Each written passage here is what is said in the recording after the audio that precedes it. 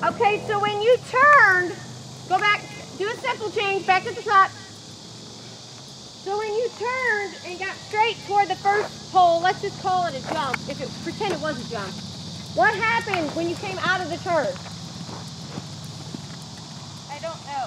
She she sped up and her stride got longer. Okay.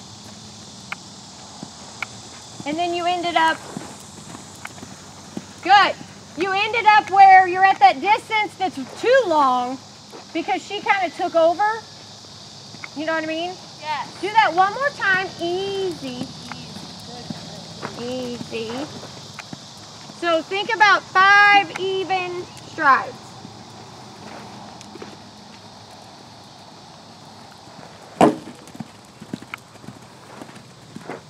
Good. And she's much straighter because the first time you did it, what lead did she land on? The, well, the wrong lead. Yes. Okay, go back to the walk for a minute.